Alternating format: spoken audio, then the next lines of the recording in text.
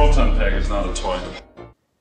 This video contains a collection of charts that compare proton pack parts that were inconsistent on the screen used hero and semi-hero proton packs in Ghostbusters and Ghostbusters 2.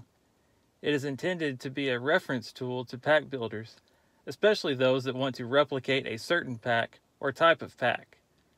There are more differences than what is displayed here, but these are common pictures that builders reference.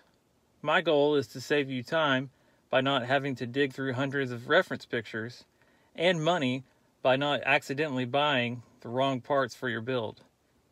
I have just compiled these photos and screenshots and I take no credit for the photos or discovering any particular details.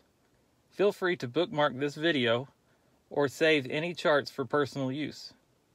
To have access to most of these photos and many more, I encourage you to join the Ghostbusters Reference Library group page on Facebook. Thanks for watching and happy building!